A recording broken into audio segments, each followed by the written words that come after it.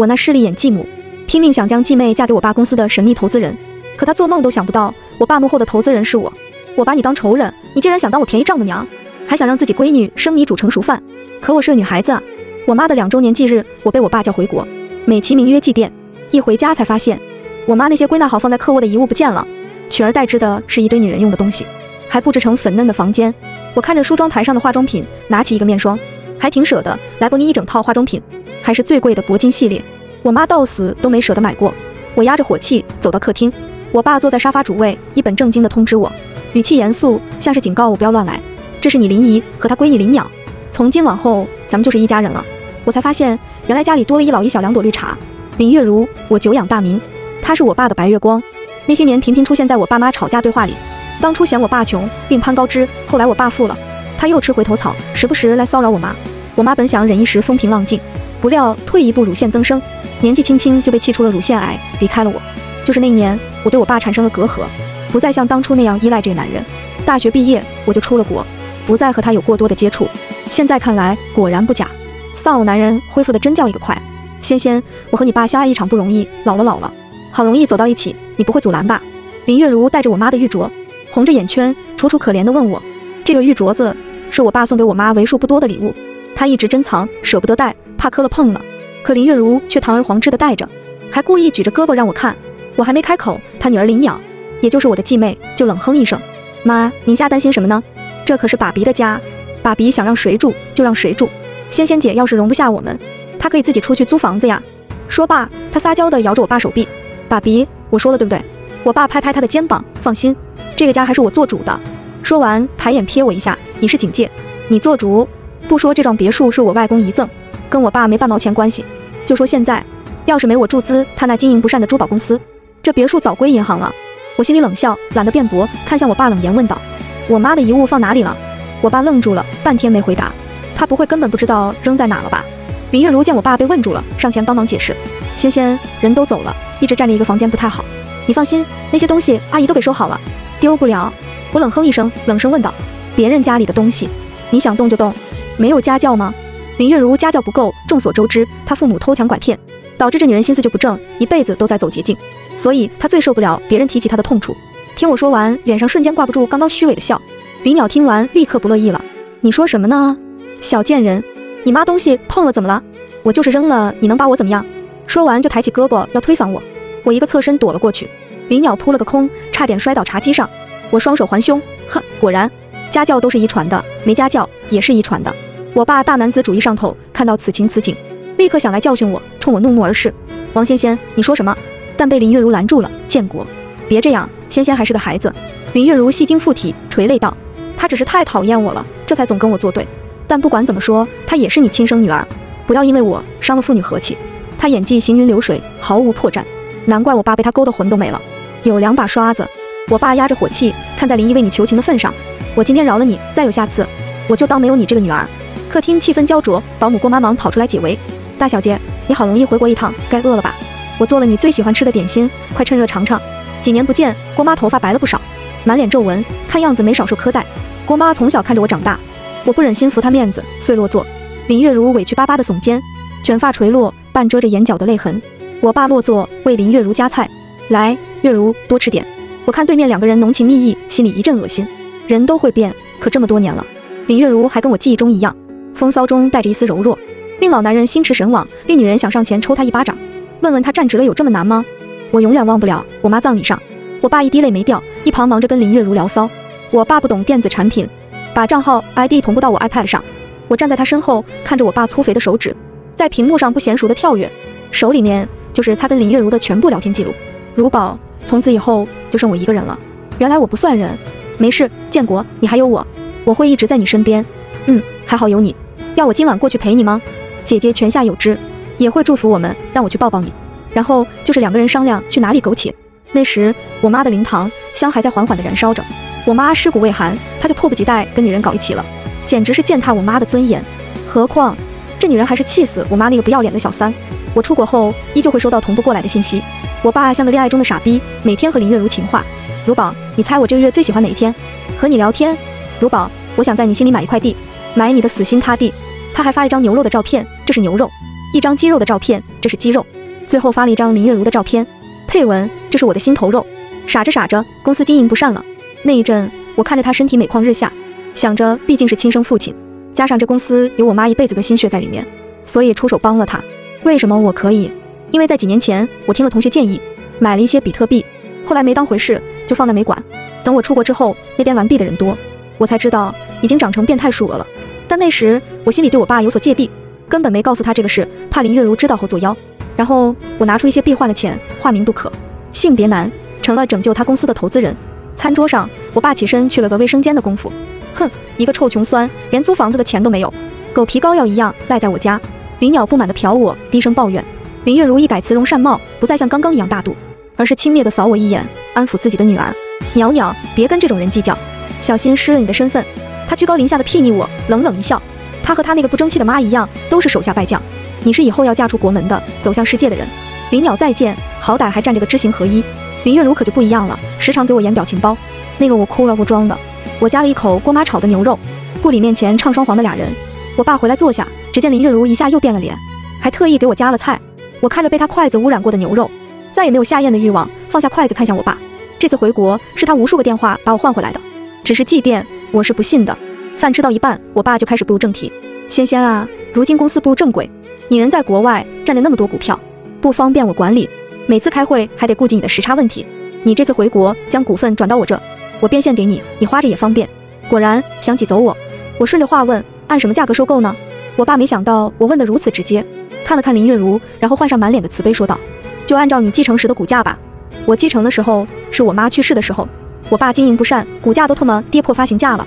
要不是我给了那笔巨资，他都不知道上哪里要饭去了。”现在终于上了正规，想把我踢走，连个市场价都不愿意提。果然一个人占便宜时间久了，公平交易都算吃血亏。我蹙眉，爸，你说的是四块？然后我点开手机炒股软件，今天开盘还四十六呢，看看还在涨，四十八点三了。我把手机摆在桌上，我们几个人都能看到屏幕上那不停跳动的数字。我爸一时被我堵得没话说。林月如适时的出来打破局面，仙仙你这么算计，就太不认可你爸爸的付出了。哦，我这叫算计。他抚摸着我爸的肩膀，是你爸爸带着公司扛到了现在，不然公司破产，你手里的股份那就只是一纸空文啊！而且你爸爸想要回来股份，也是为了公司以后的发展。好家伙，小词儿一套套的，我不接他那茬。一个小三有什么资格在我面前叫嚣？他连和我说话的资格都没有。我看着我爸，爸，我的股份是不是按照继承法？我从外公和妈妈那继承的。我爸脸色不好，但还是回答了一句是。我就是要告诉他，这个珠宝公司是外公创立的。说继承资格，连他都没我名正言顺。得到他的肯定回答，我不再说话了。结果林淼跳出来，发表了一番脑干缺失的言论。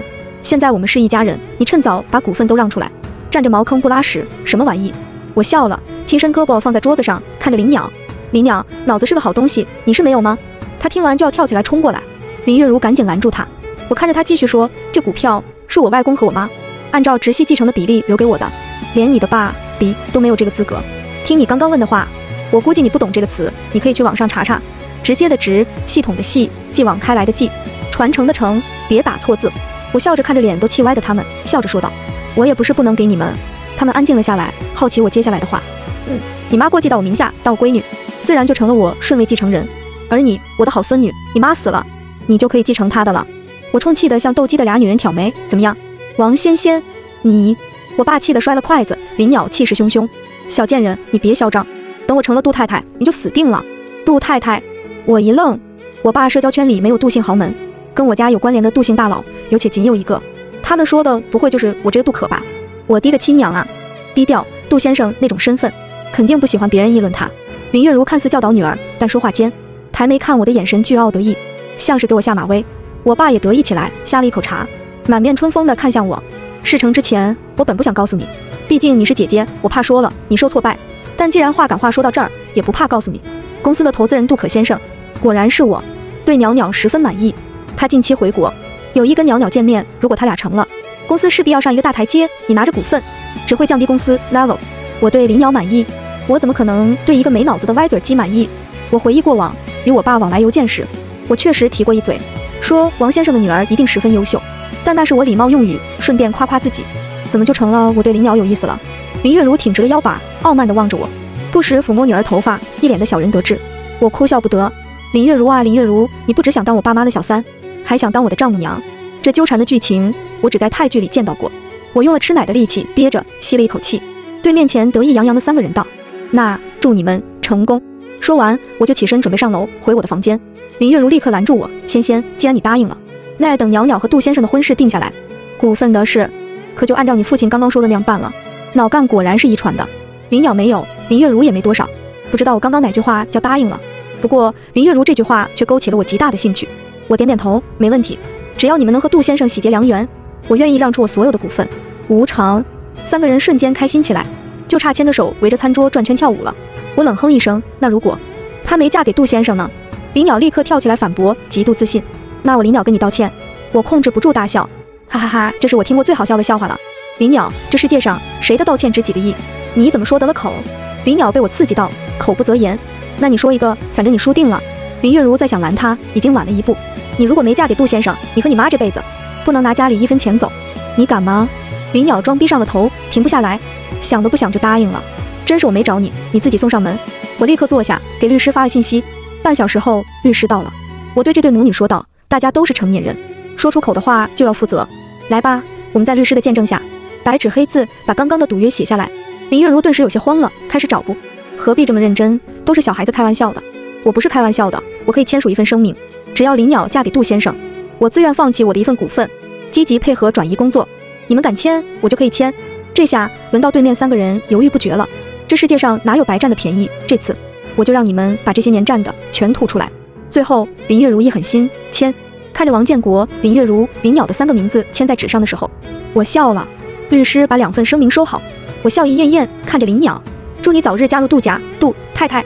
林鸟抬起他科技兴国的下巴，放心吧，姐姐，我一定不会让你失望的，我的好妹妹，你也放心，你姐姐我一定会让你失望的。回到房间后，我一个电话打给宋叔，哟，大小姐，您可算来电话了，国内生活还适应吗？家里的饭您可还吃得惯？暴富后，我在国外自立门户，聘用以前外公家多年的管家宋叔，成了我的管家，他对我关怀备至，比我渣爹更像一个父亲。我打断他的嘘寒问暖，宋叔，我有件事需要您帮忙。我的好继母，你不是想把亲生女儿嫁给杜先生吗？好，我就给你一个杜先生。第二天，我爸照计划邀请杜先生。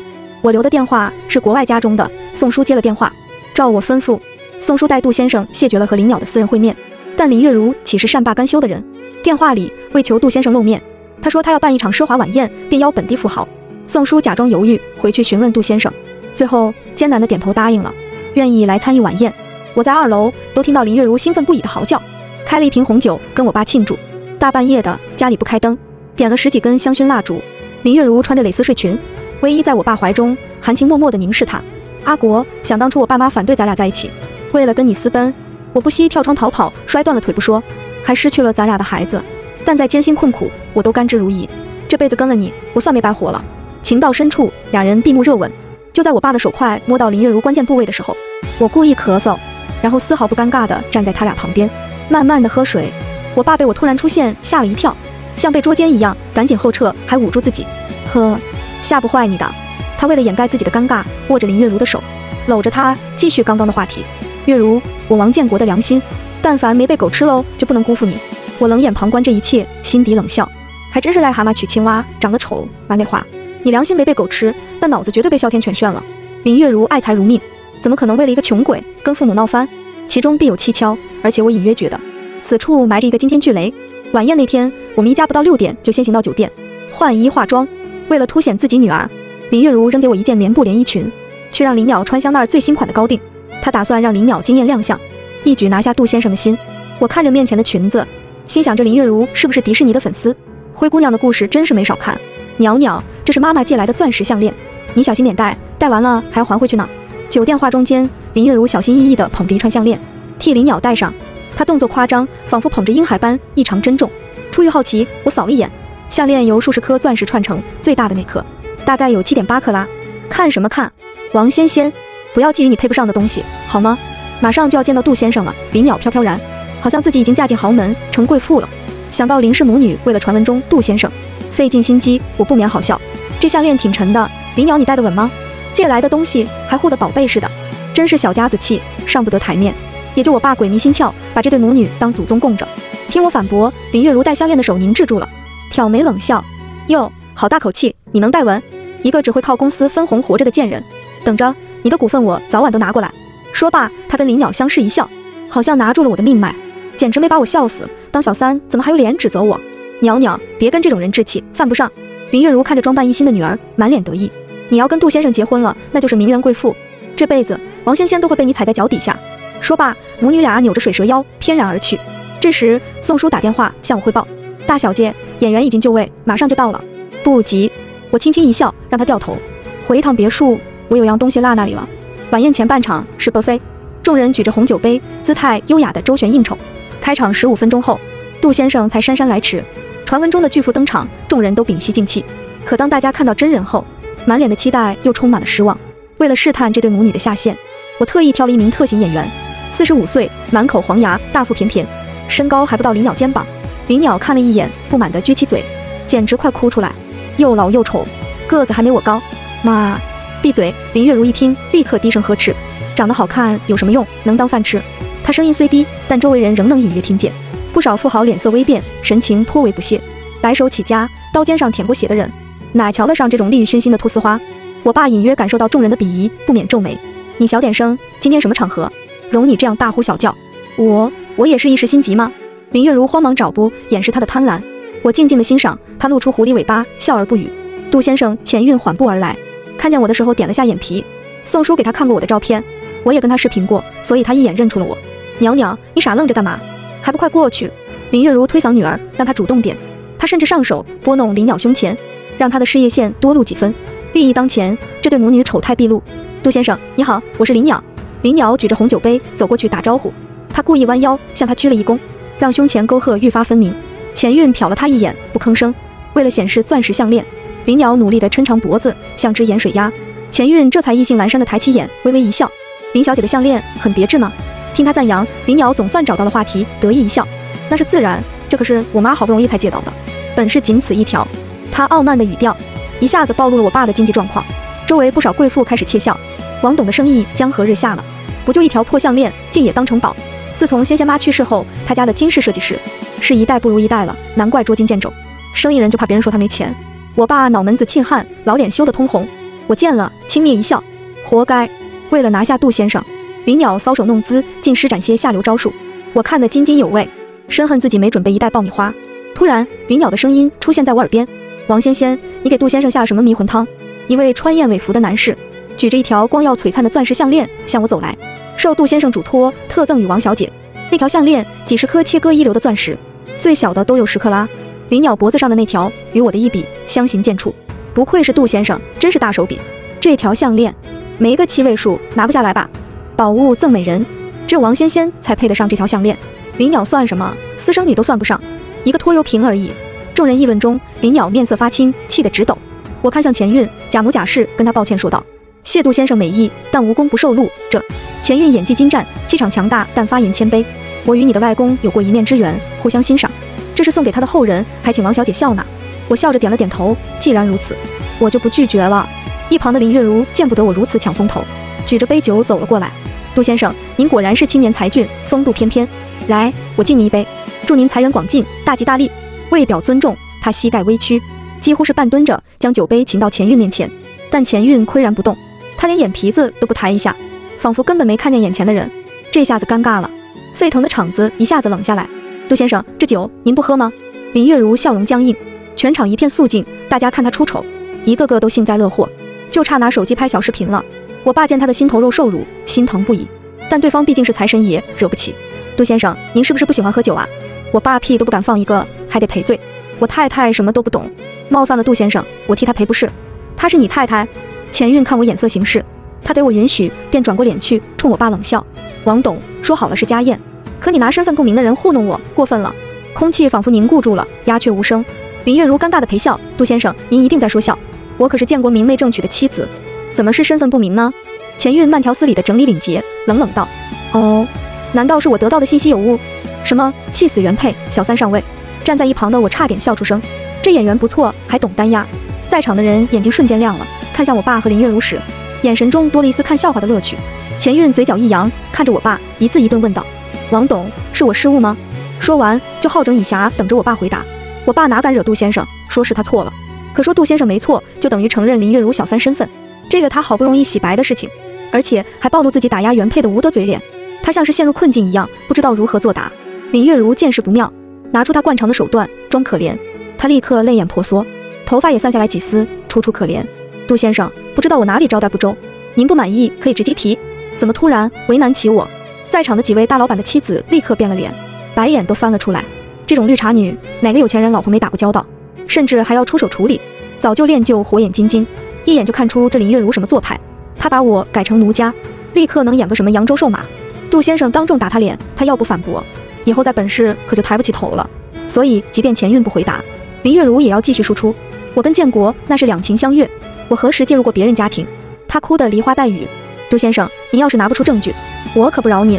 林月如拿准了钱运没证据，只是替人出气而已，所以选择把压力推回去。但又不撕破脸的撒娇口气，随时给对方准备着台阶。如果钱运没任何证据，那他只要说一句“我随口一说，我开玩笑的”，这件事就可以接过去。可是，谁说杜先生没证据呢？在场都是有头有脸的人，你确定你要证据？林月如愣住了，我爸在一旁劝他算了，但他骑虎难下，以后还要在圈子里混。现在点头认了，以后脑袋再也抬不起来了。所以林月如柔柔弱弱对钱运说道：“我的清白不容别人玷污。”林鸟见自己的妈妈如此说。主动挤过去，故意贴近，语调轻浮。杜先生，你要是拿不出证据，可得补偿我们。这动作，这言语，又让一众夫人小姐蹙眉。这娘俩是哪个窑子里扒拉出来的骚货？自己跟这玩意站在一块，都丢份儿。钱运点了点头，好。然后他使个眼色，直接让服务员把宴会厅的 LED 大屏打开了。熟悉的 Windows 壁纸出现后，服务员点开了 U 盘的一个视频。视频一点开，自动全屏播放。大家屏气凝神，死死盯着屏幕。几秒看不清的画面后，终于出现了人脸。天哪，这这不是王董的夫人吗？视频里，林月如与数个老男人卿卿我我，他们搂脖热吻，交缠互啃，画面十分香艳。这第五个了吧？比不了，比不了！林月如瞪大眼睛，大喊：“关掉，关掉！”但被钱运身边的人按住，才没冲到台上。我爸脸色发青，他手捂胸膛，身体不停地颤抖。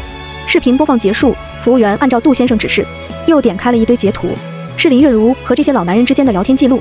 聊天中，林月如屡次三番挑衅原配。让人义愤填膺，在场的富豪太太都是正室，他们看了聊天记录，无不色变，真不要脸！一个小三还敢冲原配叫嚣，一副下贱样子，跟外围有什么两样？王董事长居然把他当成宝，瞎了吧？鱼找鱼，虾找虾，乌龟配王八，都不是好鸟。林女士当年欺骗过我一位世伯，我今天这番作为也是为世伯出口恶气。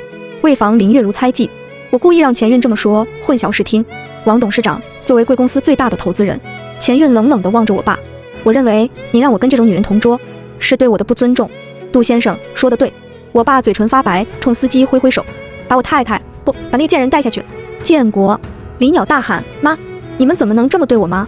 林月如见大势已去，还想卖惨博同情，她扑到我爸脚边，想抓他裤脚，却被我爸一脚踹开，滚！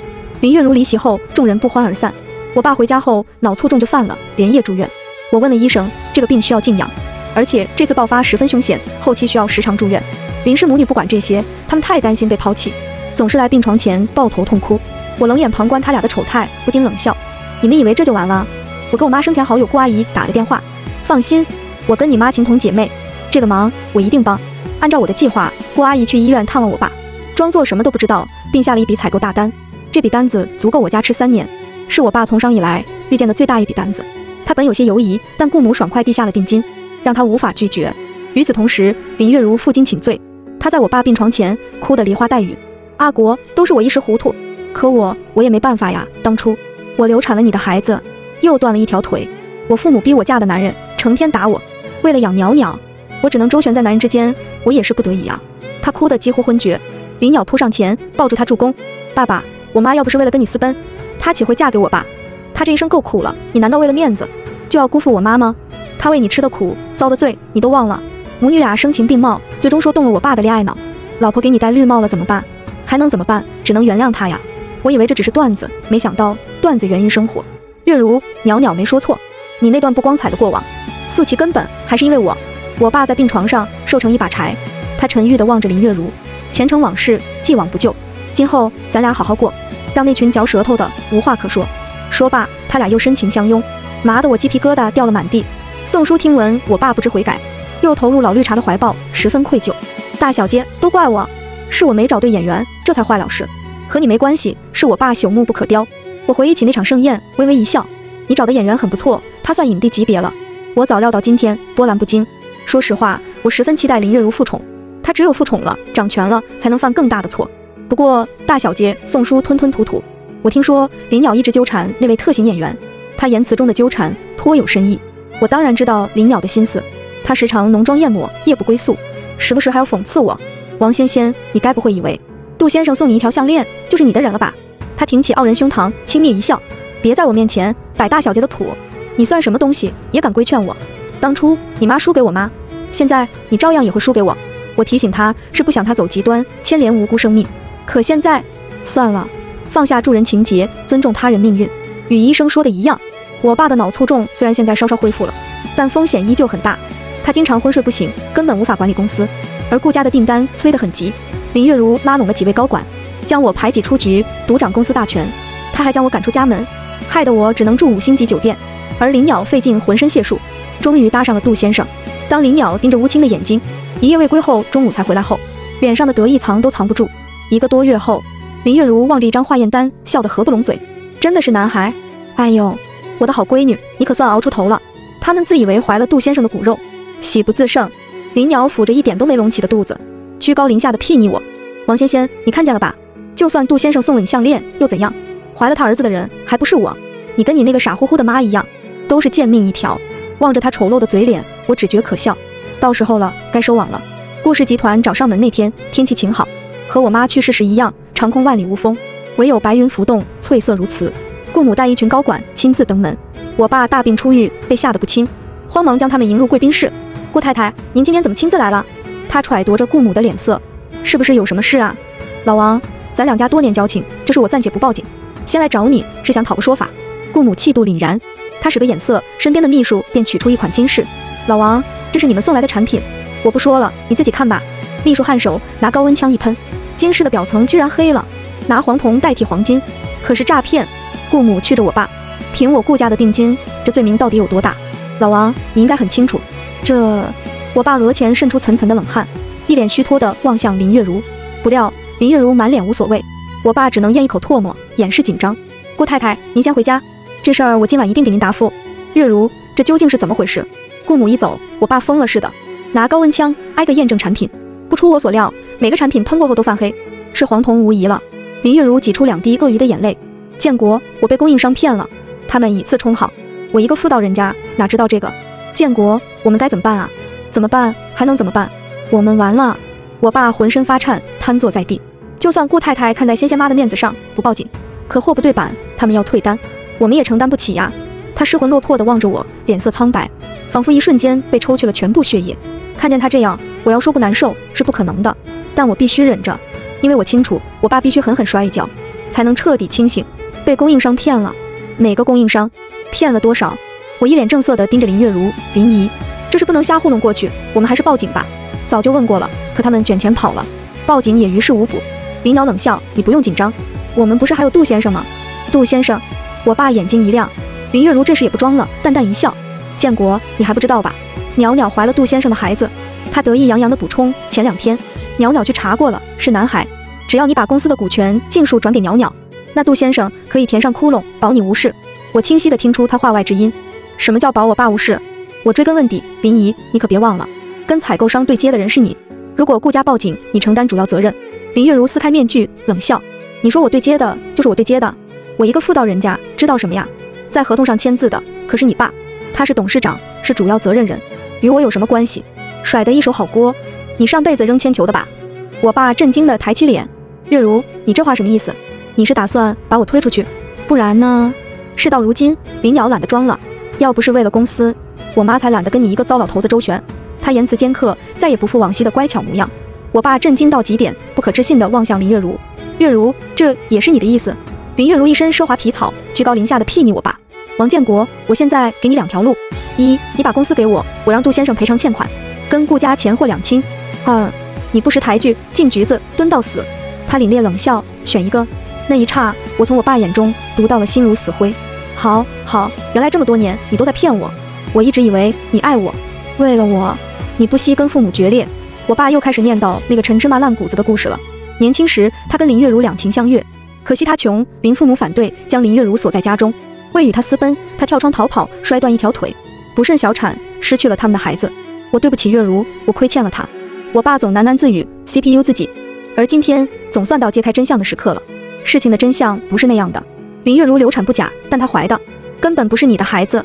我冷冷地凝视他。当年林月如给有钱人当小三，怀了他的种，想逼宫，不料却遭原配暴打。他的腿就是那时打折的。什么父母不同意，跳窗私奔，分明是一派谎言。也只有您一厢情愿的信以为真。我语速很缓，字字都敲到人心坎上。我爸恍惚了许久，才喃喃道：“不，不可能。”我猜他不信，所以拿出了一封信。这是当事人的亲笔信，你看一下。我让宋叔找到二十九年前林月如的姘头，他是一个大老板，为了跟我合作，不惜倒豆子一般将实情尽数吐露。仿佛一瞬间，我爸漆黑的头发间冒出几茬雪白，他表情茫然无措，浑如丧家之犬。他求助的望向老绿茶，哽咽道：“月如啊，求求你告诉我，我家仙仙是骗我，他他是骗我的。我们当年明明两情相悦呀。”林月如倨傲的扬起下巴，一言不发。林鸟却没空跟他纠缠，冷声道：“做你娘的美梦！要不是你兜里有俩臭钱，我妈看得上你，也不照照镜子。”他直呼我爸的名字：“王建国，醒醒吧！你现在一无所有了，再不把公司给我，我就让你吃不了兜着走。”然后林鸟戳了戳我：“还有你，股份都给我吐出来，不是挺牛逼吗？跟我赌，你输定了！”我的姐姐。言毕，林月如和林鸟母女两人狂妄的大笑。露出獠牙，显出原形。我装出一副失败者的样子，对他们说道：“公司可以转给你，不过需要杜先生本人到场。”见我同意，林鸟欢天喜地的打电话，请杜先生立刻过来。我也通知顾家以及公司高管，见证王氏集团的易主。众人齐聚一堂，面色各异。老公，你总算来了。钱运一露面就引发一阵骚动，大家都对这位传奇人物充满好奇，引颈张望。林鸟兴奋地扑过去，抱住他热吻，宣誓主权。他瞥我一眼，轻蔑地笑：“王仙仙，跟我斗？”你还嫩着点，说罢，他冲钱运撒娇：“老公，人家怀了你的孩子，你送人家一个公司，奖励一下人家吗？”钱运脸色煞白，偷眼看我，见我微不可察的点头，他才松口气，命随行律师拿出文件，这是公司转让合同，一旦签署，法人王建国将彻底失去公司控制权。律师解释：“王建国还不快签字？”林鸟将合同摔到我爸面前，冷嘲热讽：“别磨蹭了，过了这村没这店。我是可怜你，才让我老公买下公司的。”没有我，你早进局子吃牢饭了。我爸望着合同，神情凄苦，瞬间老了十岁。他抬起眼，愧疚地看向我，对不起了，仙仙，你妈给你留下的家业，爸爸没守住啊。事到临头，他终于想起了我妈，毕竟是同期起家的。